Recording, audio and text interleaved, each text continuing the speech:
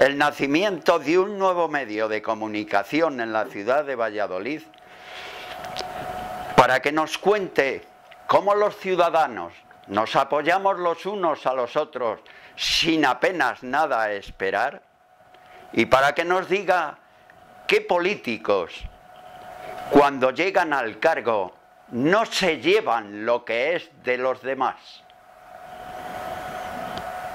Soy Juan José Mato, soy constructor y manipulador de marionetas.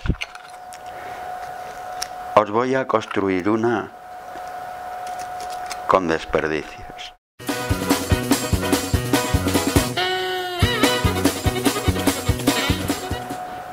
Ahí está. Unos botones, unos corchos y hemos hecho reciclaje creativo.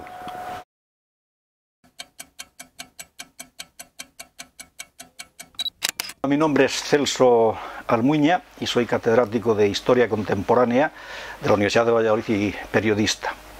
Eh, ¿Por qué eh, apoyo el último cero?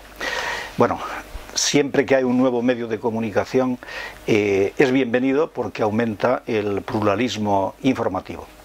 Pero además, en este caso, me consta, por las personas que están detrás del proyecto, por la intención de que se va a tratar de un medio de comunicación, de un periódico digital, donde se va a tener la información veraz, es decir, lo que nuestra Constitución reclama como debe ser la información. La información tiene que ser veraz y como un derecho fundamental para los ciudadanos. Es decir, que todo medio de comunicación tiene que estar al servicio de esa información veraz. No me cabe la menor duda que el último cero título, por otro lado, que me resulta sugerente, original, repito, no me cabe la menor duda de que Último Cero va a ser un periódico en esta línea de ofrecer a los lectores eh, en general una información lo más contrastada, lo más veraz posible.